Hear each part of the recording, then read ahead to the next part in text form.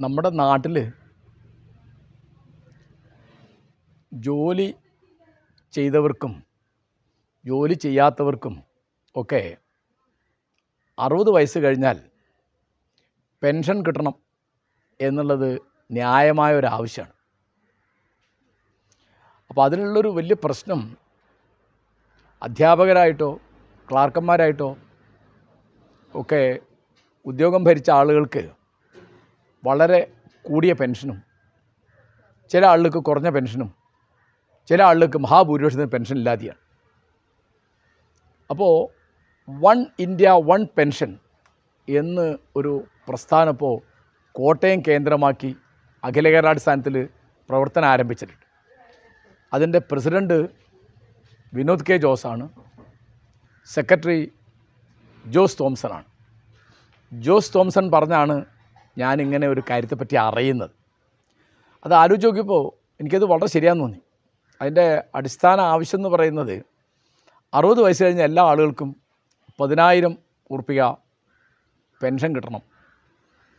അപ്പോൾ അതിനു വേണ്ടി ചിലപ്പോൾ ഇപ്പോൾ പെൻഷൻ കിട്ടുന്ന ഞാനടക്കമുള്ള ആളുകളുടെ പെൻഷന്റെ ഒരു ഭാഗം ചിലപ്പോൾ വെട്ടിക്കുറക്കേണ്ടി വന്നേക്കും.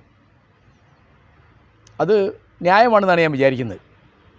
ഇപ്പോൾ പല ആളുകൾക്കും അവർ ജോലി ഉള്ള കാലത്ത് വാങ്ങിയ ശമ്പളത്തെക്കാൾ കൂടുതൽ പെൻഷൻ കിട്ടുന്നുണ്ട്. അപ്പോൾ അത്തരം അസന്തുലിതാവസ്ഥ തീർച്ചയായിട്ടും ഒരു ജനാധിപത്യ സമൂഹത്തിന് തുല്യതയിലും നീതിയിലും വിശ്വസിക്കുന്ന ഒരു സമൂഹത്തിന് ചേർന്നതല്ല.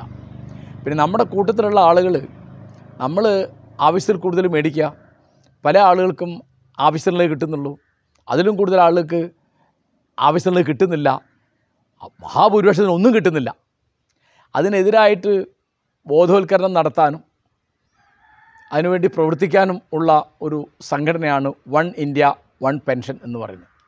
അപ്പോൾ എനിക്ക് അവരുടെ പ്രസ്ഥാനത്തോട് അതിന്റെ മുദ്രാവാക്യത്തോട് വളരെ യോജിപ്പ് തോന്നുന്നു.